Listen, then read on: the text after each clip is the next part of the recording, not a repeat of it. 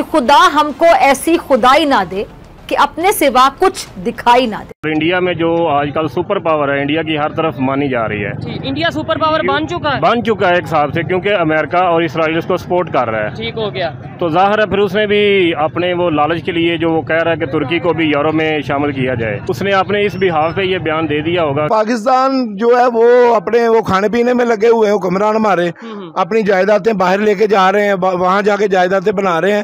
کیا وہ دوسرے انڈیا میں کسی جرنیل کی جائیداد باہر ہے؟ یہ کیا کسی سیاستدان کی جائیداد کسی دوسرے ملک میں ہے۔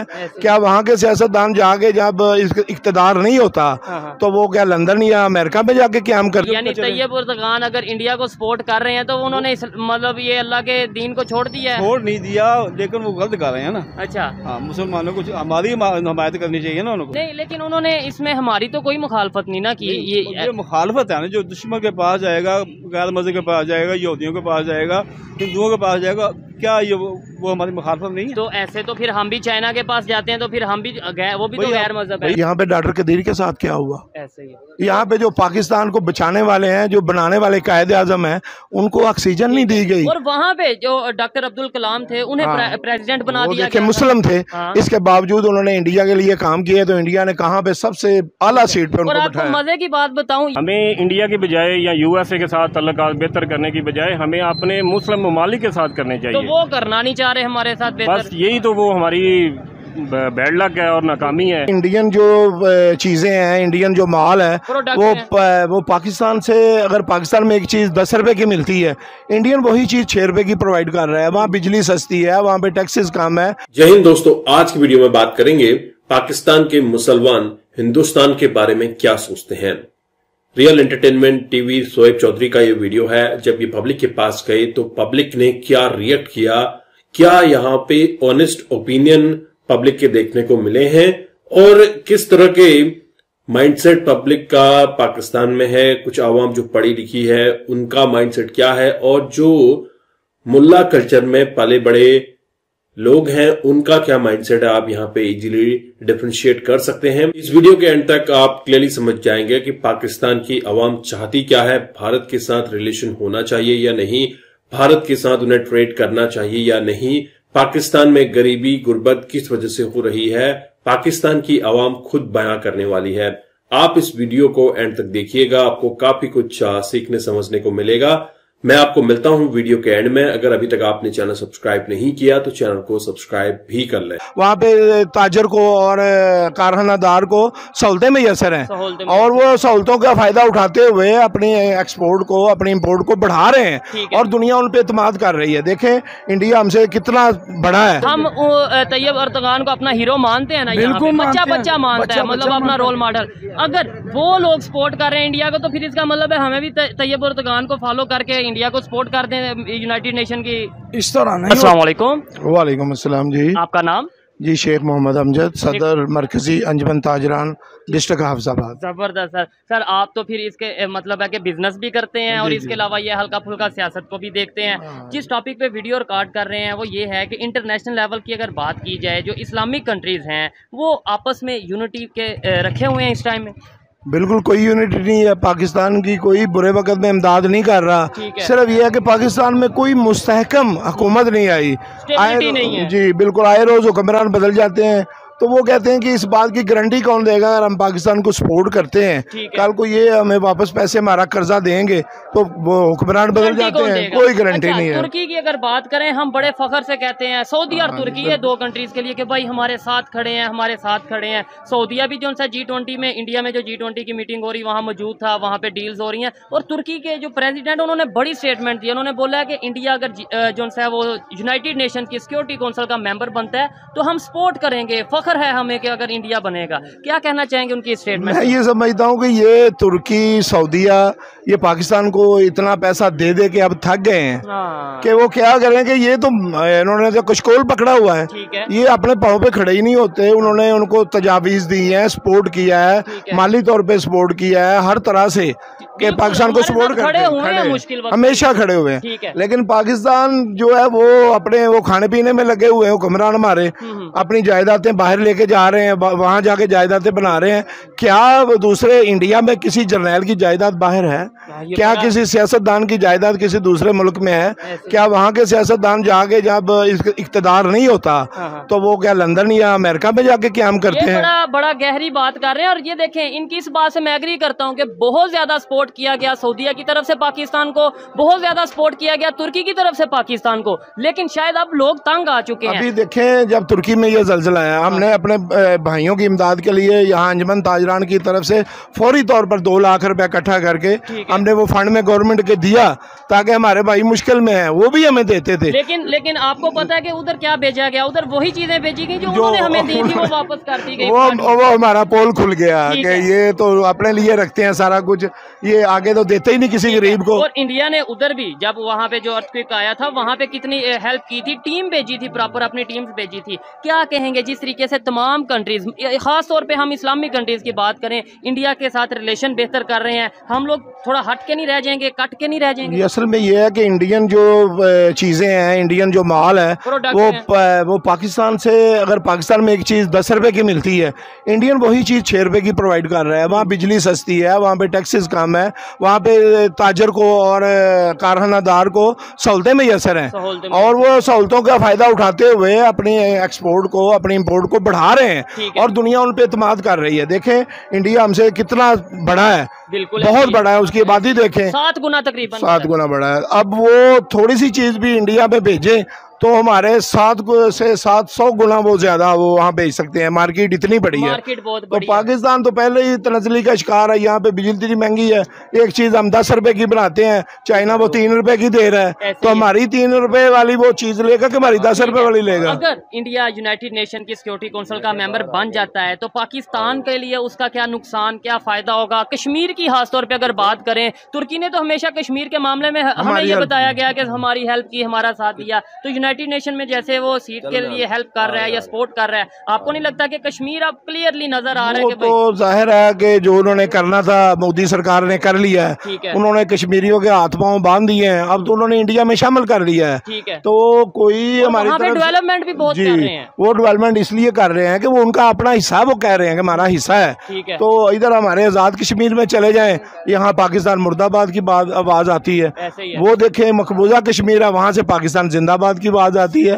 تو وہ اپنے لوگوں کو حقوق دے رہے ہیں وہاں انویسٹمنٹ کر رہے ہیں اور خاص طور پہ ہندو لابی جو ہے غیر مسلم لابی ہے وہ اس کو ادھر انویسٹمنٹ کروا رہے ہیں تاکہ ان کے جو پنجے ہیں ان کے جو ہاتھ ہیں وہ کشمیر میں مضبوط ہو جائیں۔ سر آپ کی ساری باتوں سے میں آلموسٹ ایگری کرتا ہوں لیکن یہ بولا کہ آپ نے یہ جو بات کی ہے کہ نان مسلم لابی ہے اور یہ اس طریقے سے دیکھیں بزنس مین بندہ تو اگر یہ ایسی بات کرے گا مجھے تھوڑی حیرت ہوگی۔ آپ کو نہیں لگتا کہ بزنس تو کہیں بھی کیا جا سکتا ہے؟ مسلم نان مسلم کسی کے ساتھ بھی کیا جا سکتا ہے؟ یہ جو لوگ لوگ ہیں یہ ہندو ہیں یہ دوسرے لوگ ہیں یہ ہمارے دوست نہیں ہو سکتے۔ نبی پاک کی حدیث ہے کہ یہ عیسائی یہودی آپ کے دوست نہیں جتنا مرضی آپ ان کے ساتھ کر لیں۔ لیکن جو ان کے اندر نفرت ہے نا مسلم کے لیے ہاں، ہاں۔ وہ نہیں جا سکتی۔ یہ چائنا والوں کے ساتھ تو ہم بڑی دوستی بنائے ہوئے وہ صرف اس لیے بنائے ہوئے ہیں کہ وہ ہمیں کھانے کو دیتا ہے ہمارے میں انویسٹمنٹ کر رہا ہے نبی پاک ہاں، وہ ظاہر ہے جب ایک چودھری ہمیں کھانے کو دیتا ہے تو ہمارا تو چودھری وہی ہے نا۔ ٹھیک ہو گیا۔ اچھا لاسٹ میں کیا کہنا چاہیں گے؟ یہ جو پاکستان پاکستان کی پبلک ہے ہم لوگ ہیں ہم عوام ہیں۔ کس کس سچویشن میں اس ٹائم پھنس چکے ہیں؟ نہ تو اسلامی کنٹری ہمارے ساتھ نہ ہی نان اسلامی کنٹری ایک سائڈ پہ ہم کہتے ہیں امریکہ سازش کر گیا اسرائیل اسرائیل سازش کر گیا چائنا سازش کر گیا انڈیا سازش کر گیا۔ اور دوسری سائڈ پہ اب اسلامی کنٹریز بھی سازش کرنے لگے۔ یہ اصل میں ہمارے جو کہ جس طرح کہتے ہیں نا کولو فیل میں تضاد ہے۔ یہ چیز ہے۔ یہ چیز ہے۔ ہم ابھی آپ مجھے کہیں کہ یہ بچے جو ہیں یہ امریکہ بھیج دیں۔ ہاں، ہاں۔ تو میں نے کہنا جی بسم اللہ۔ امریکہ بھیج دیں۔ ویسے امریکہ مرد آباد ہاں۔ پیسے لینے ہوتے ہیں امریکہ زندہ باد۔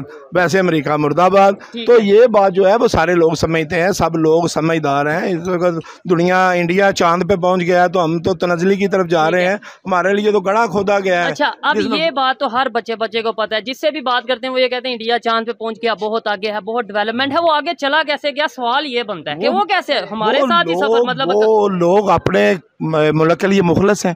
وہاں کے جو لوگ ہیں وہ اپنے جو ان کے لیے یہ سارا کچھ کر رہے ہیں ان کے لیے ان کے دل میں چاہ چاہت ہے قدر ہے یہاں پہ ڈاکٹر قدیر کے ساتھ کیا ہوا؟ ایسے یہاں پہ جو پاکستان کو بچانے والے ہیں جو بنانے والے قائد اعظم ہیں ان کو آکسیجن نہیں دی گئی۔ اور وہاں پہ جو ڈاکٹر عبد الکلام تھے انہیں ہاں۔ پریزیڈنٹ بنا دیا کہ مسلم تھے۔ ہاں۔ اس کے باوجود انہوں نے انڈیا کے لیے کام کیے تو انڈیا نے کہاں پہ سب سے اعلیٰ سیٹ پہ ان کو بٹھایا اور آپ کو مزے کی بات بتاؤں یہاں پہ وائنڈ اپ کرتے ہیں کہ چندریان تھری جو انڈیا کا مشن مون جو چاند پہ پہنچ جی۔ گیا اسے جو لیڈ کر رہی تھی وہ بھی ایک مسلم جون خاتون ہے مسلم وومین ہے۔ جو اس مشن کو مسلم مسلمان کو اللہ پاک نے اللہ پاک نے بہت بڑا دماغ دیا ہے۔ نبی پاک نے آج سے چودہ سو سال پہلے یہ بتا دیا تھا کہ زمین گھوم رہی ہے مدار میں چاند ہمارے ارد گرد چکر لگا رہا ہے۔ وہاں اس وقت کس کون سا سائنسدان تھا؟ کچھ بھی نہیں۔ جو بڑے سائنسدان تھے۔ مطلب اسلام میں اگر پہلے یہ چیزیں بتا دی گئی ہیں تو ہم نے اس سے کیا فائدہ اٹھایا؟ کیا ہمیں تو پھر سب سے پہلے چاند ہم اسلام کے قریب ہی نہیں جاتے ہم مطالعہ ہی نہیں کرتے۔